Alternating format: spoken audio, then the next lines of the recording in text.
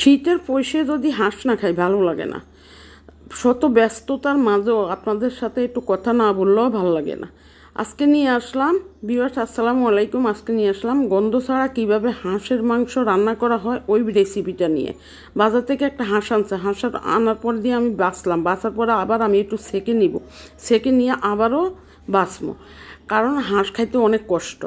সেকে শুকে নিয়ে আমি বাজার থেকে দেটে আনে, ড্যাশিং কইরা যদি আনে, তাইলে আমি গরমে আমরা এইভাবে সেকে নিই। আগুনের মিজন একটু সেকে নিই চুলার উপরে।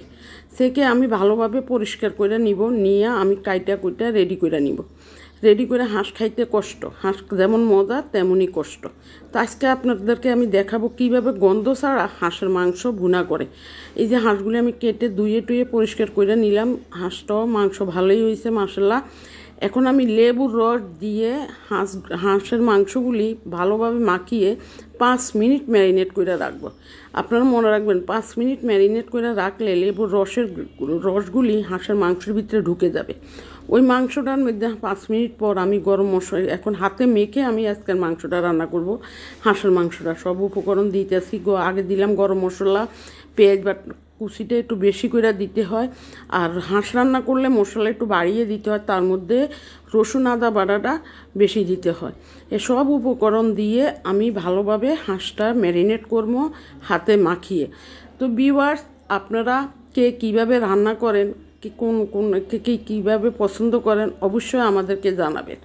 এখন আমি সব উপকরণ দিতেছি আর আমাদের কমেন্ট করছেন অনেকে প্লিজ পুরো ভিডিও দেখবেন, আর কে কোন জায়গার থেকে কমেন্ট করেন অবশ্যই আমাদেরকে একটু জানাবেন। যে আপনি এই জায়গা থেকে এই জায়গা থেকে কমেন্ট করছেন। এই জিনিসটা লিখলে কী হয়? আমার জন্য ভালো হয়। আমি অনেক খুশি। কারণ আমার ভিউয়ার্সরা আমার সাথে আছে, আমার অনেক কমেন্ট করে, আর আমার ভিডিওগুলিও দেখে। পুরো ভিডিও দেখার জন্য ধন্যবাদ আপনাদেরকে। আর আমার পুরো ভিডিওগুলি দেখবেন, আমিও আপনাদের পুরো ভিডিও দেখে তারপরে কমেন্ট করি।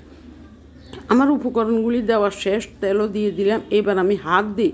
মাইখা, জুইখা ভালোভাবে একদম এই ম্যারিনেট করে নিব।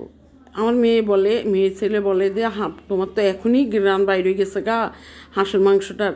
আর রান্না করলে তো আর কোনো কথাই নেই। আমি এইভাবে হাঁসটা রান্না করি, কারণ গন্ধ লাগলে সব জিনিসের একটা গন্ধ আছে। ওই গন্ধটা যাওয়ার জন্য আমি লেবুর দিয়ে আমি উপকরণ এরিয়া ম্যারিনেট করে রাখি।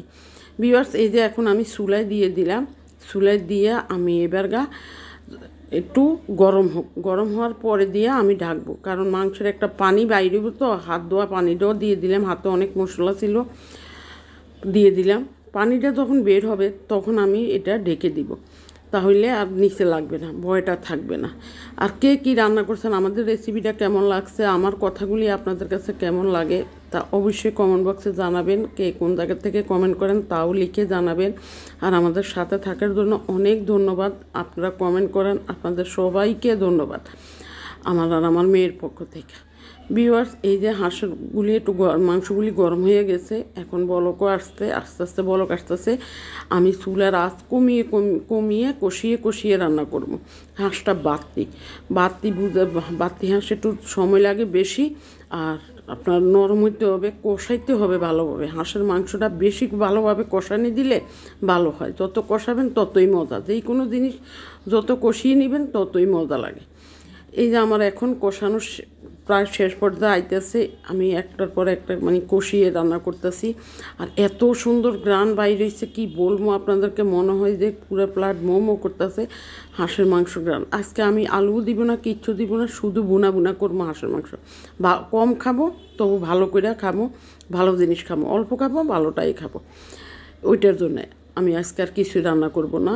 এই যে হাঁসের মাংসের কষাইতে আছি। আর আপনাদের কাছে ভিডিওটা আমার ভালো লাগলে কমেন্ট করে জানাবেন। আর আপনারা এইভাবে আমার সাথে থাকবেন, আমরাও আপনাদের সাথে আছি। আর আমি আবারও বলছি, আমার ফুল ভিডিওগুলি দেখবেন, আমরাও আপনাদের ফুল ভিডিওগুলি দেখি। এটা আমি বারে বার বলছি, আর আমার কথাগুলি কেমন তা অবশ্যই জানাবেন।